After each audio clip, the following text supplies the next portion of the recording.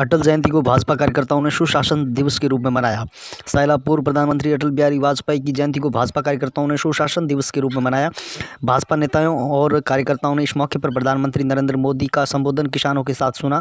इस दौरान पंचायत समिति के वीडियो कॉन्फ्रेंसिंग हॉल में विधायक जोगेश्वर गर्ग, प्रधान डोमी देवी, जिला महामंत्री पुखराज राजपुरोहित, पूर्व प्रधान प्रकाश राम चौधरी मंडल अध्यक्ष केवदाराम चौधरी, भाजपा नेता शगनलाल सुथार, सुरेश वैष्णव, रमेश गर्ग, पवनी देवी, मेघवाल सहित अनेकों किसान सहित भाजपा कार्यकर्ताओं ने प्रधानमंत्री मोदी का किसानों के नाम संदेश को सुना और देखा।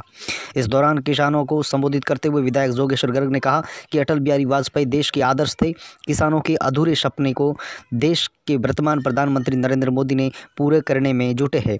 देश का आम जनता को भाजपा के शासन में कई योजनाओं लाभान्वित किया गया। भाजपा शासित प्रदेशों में, भाजपा के कार्यकाल में महिलाओं, किसानों के साथ सभी वर्गों को सम्मान दिया गया।